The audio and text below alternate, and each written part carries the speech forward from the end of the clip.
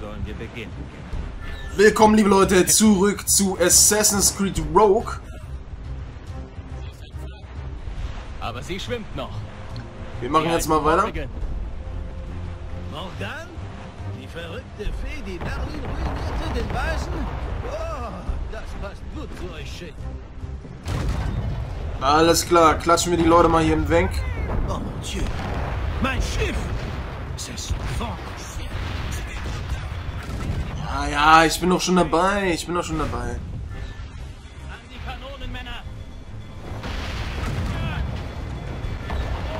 Entdeckung! Ich empfehle Stoppt sie, Mann! So, Nummer 1. Bereit zu schießen, Feuer! Nummer 2. Feuer! Die hauen sie in Stücke! Ich bin doch dabei, Junge. Ich bin doch dabei. Ich bin noch dabei. Hier ist das andere Kanonenboot. Oh, sitzt der, sitzt der noch? Ah, ich hätte vorziehen müssen ein bisschen. So.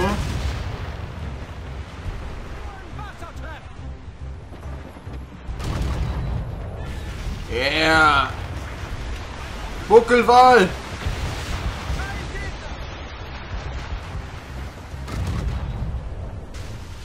Voll daneben geballert, voll daneben geballert. Komm, komm, komm, komm.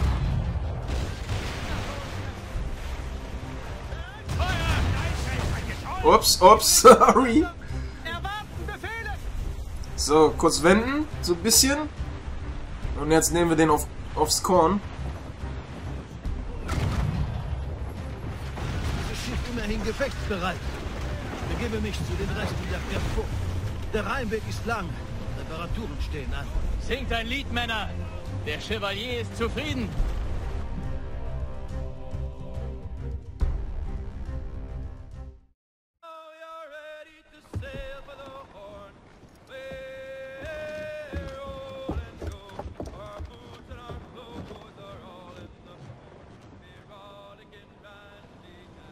Welchen Kurs soll ich setzen, Shay? Zeit, dem Mentor Bericht zu erstatten. Meint ihr nicht auch? Weise Worte, Captain. Weise Worte.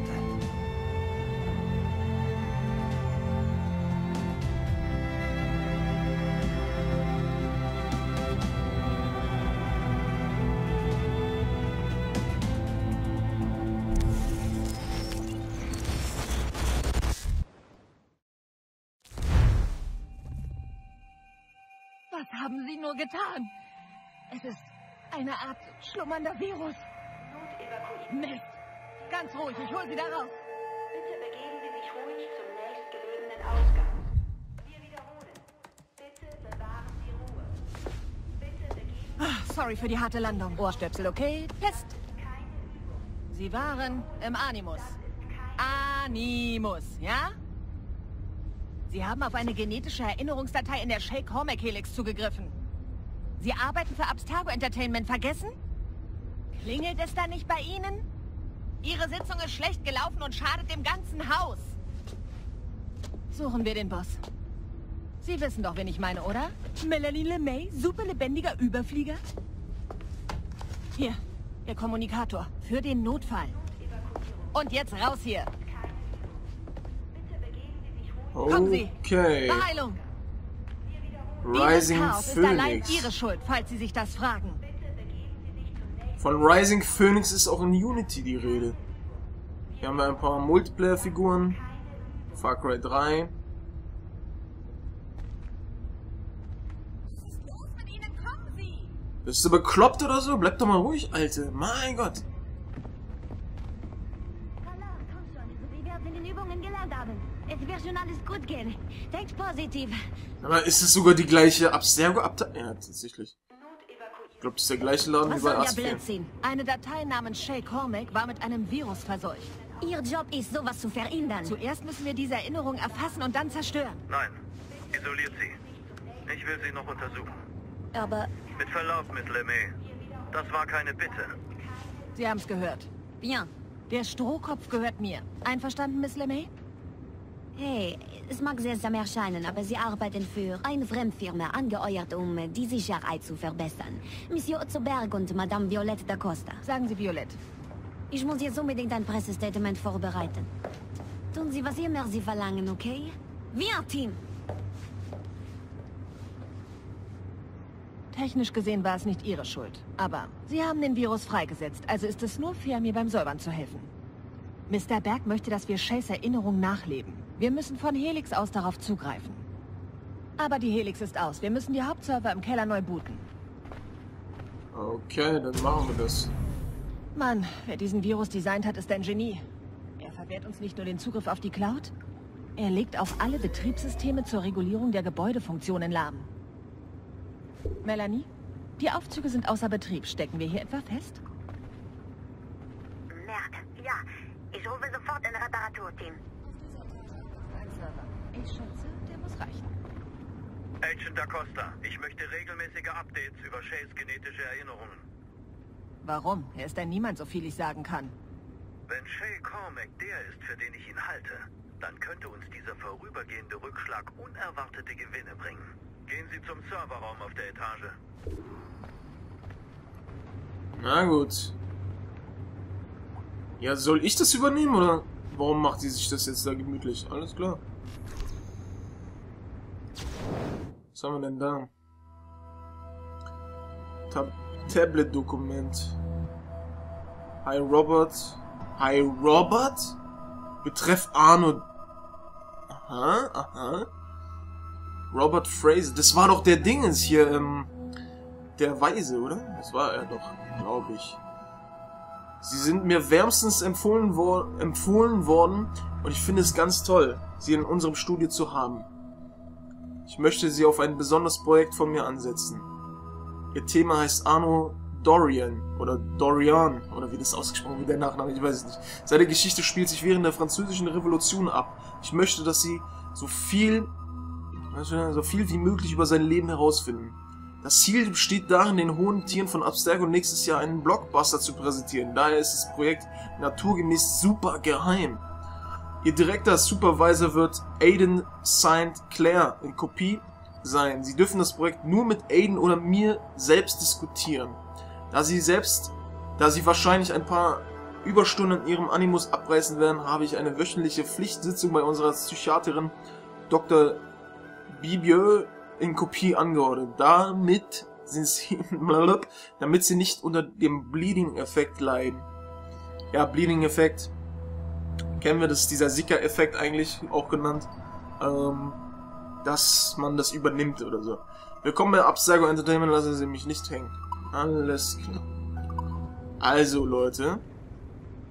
Jetzt haben wir schon mal mehrere Hinweise, dass, wie ich auch schon am Anfang Part 1 gesagt habe, die beiden Spiele miteinander zusammenhängen.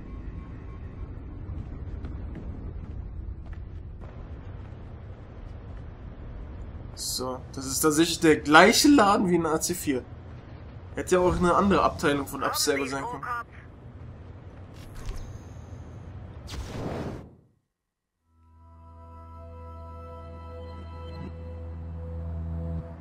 Loreno Torres. Das blätter ich mal so durch. Das kann sich jeder selbst durchlesen. Und was haben sie eigentlich dieses Jahr mit den mit den super netten Spitznamen? Strohkopf, Pisspot. Hört sich alles super geil an.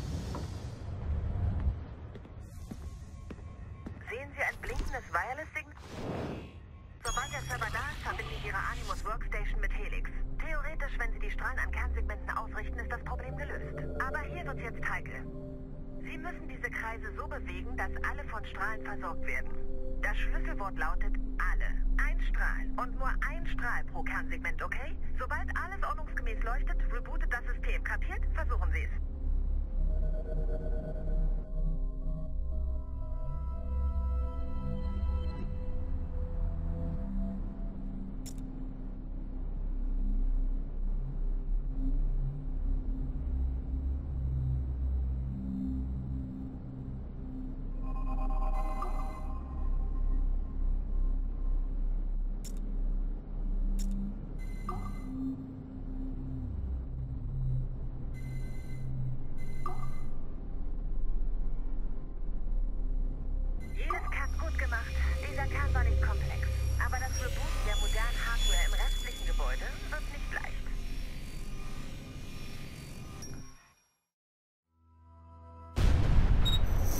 Assassinen wollen uns glauben machen, dass Al-Mualem ein großer Mentor war, der der Gier anheimfiel und dass er mit den Templern paktierte, um einen Edenapfel zu erhalten.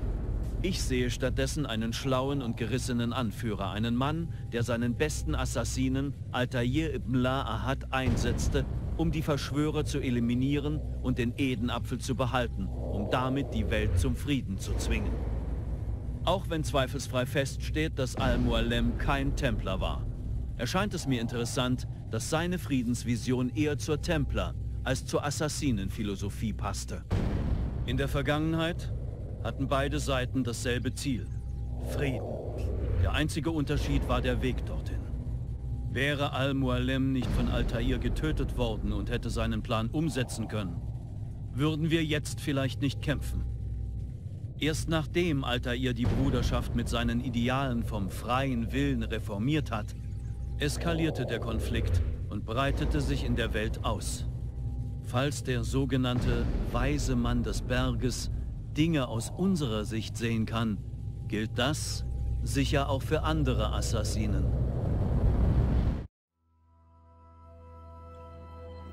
Mhm. Das ist doch auf jeden Fall mal ziemlich interessant. Das habe ich auch schon mehrfach angesprochen in Videos über Assassin's Creed. Okay, nun, ich weiß nicht, ob Sie das sehen sollen. Also, ähm, Sie sollten zurück zu Ihrem Animus. Ähm, Da die Server laufen, könnten Sie auch die Rechner der Kollegen wiederherstellen, wenn Sie, nun, behilflich sein wollen. Und Sie könnten noch ein paar digitale Goodies finden, wenn Sie, nun, wenn Ihnen danach ist. warum ist sie denn plötzlich so Hey, ein nett? Mitarbeiter hat seinen Kommunikator am Aufzug verloren. Wenn Sie da Geräte rumliegen sehen, nehmen Sie. Vielleicht geben Sie uns einen Hinweis. Nun, Ah, da shit. Shays Erinnerungen freigeschaltet sind, stehen wir kurz vor einer großen Entdeckung. Ich weiß, Sie haben Fragen zu Ihrer neuen Aufgabe oder zu mir. Vorerst verrate ich nur, dass Shays Geschichte die Antwort birgt. Shay wird Sie zu einem tieferen Verständnis führen.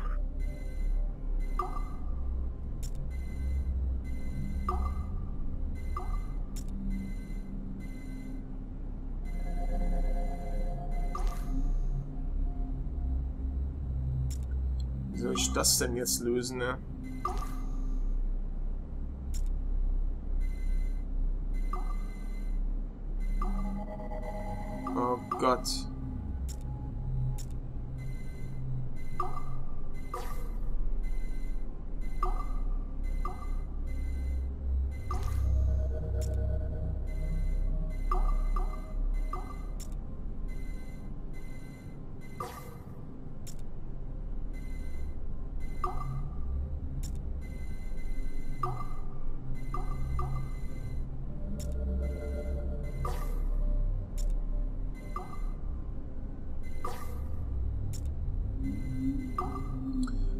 Soll ich das lösen, ne?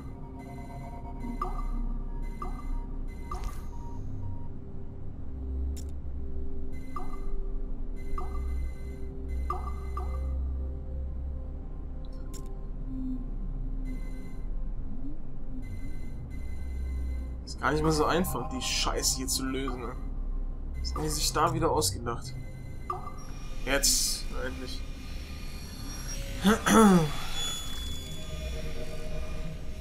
Aber ja, wie das Video schon gesagt hat, im Grunde genommen wollen beide Frieden. Beide Parteien wollen den Frieden. Infolge der großen Reinigung von 2000 wurde William Miles de facto Anführer der Assassinen. Ein listiger, skrupelloser Stratege. Er hat viele Agenten ausgebildet, die Abstergo infiltriert haben. Unter anderem Clay Kaczmarek und Lucy Stillman.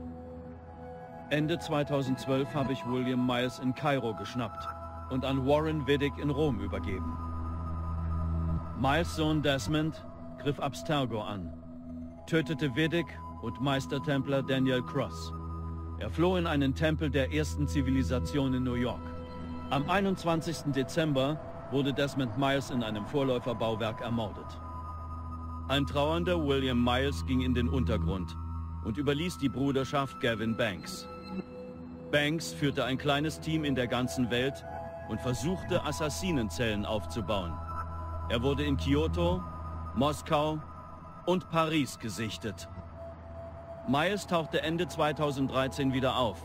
Und wir wissen, dass er an der Infiltration von Abstergo Entertainment Montreal durch die Assassinen Sean Hastings und Rebecca Crane beteiligt war. Sowohl Miles als auch Banks sind verschwunden. Agentin Da Costa hat den Akashic-Satelliten Plexus angewiesen, den Planeten nach Assassinenaktivitäten abzutasten. Wir müssen sie nur noch finden. Alter, das, das wird ja immer interessanter. Wie geil ist das denn schon wieder? Oh, der, der Gegenwartsteil in AC4 war auch richtig geil und sehr interessant. Und hier ist es anscheinend nicht anders. Ähm, Leute, ich würde trotzdem sagen, wir machen hier einen Cut. Beim nächsten Mal machen wir dann weiter. Und schreibt mir gerne mal eure Eindrücke in die Kommentare zum Spielen. Und äh, unterstützt es natürlich gerne, das Projekt, wenn, es, wenn es euch gefallen hat und ihr mehr sehen wollt. Ich würde mich extrem darüber freuen. Das ist doch hier der Russen... Ist das der Russen-Assassine? Ja, der hatte ein Pferd in den Comics. Die habe ich auch gelesen. Na gut, Leute, wie gesagt, lasst ein bisschen Feedback da. Wir hören uns beim nächsten Mal. Danke fürs Zusehen. Haut rein und tschüss.